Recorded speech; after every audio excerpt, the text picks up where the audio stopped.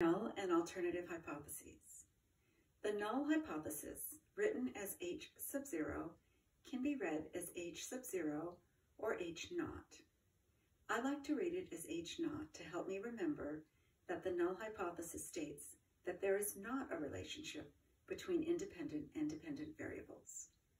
According to Polit and Beck, researchers generally do not state hypotheses in the null form in order to avoid giving an amateurish impression, as it should be assumed without needing to state it.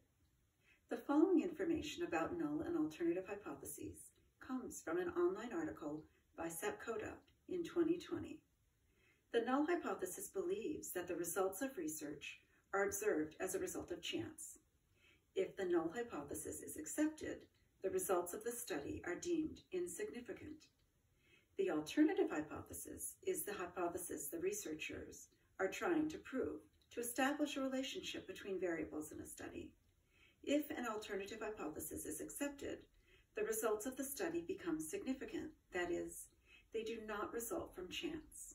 Here, the p-value would be smaller than the level of significance. Alternative hypotheses, when proved, can lead to a change in practice. When researchers wrongly claim that there is a relationship when there is not, this is said to be a type 1 error, also known as a false positive.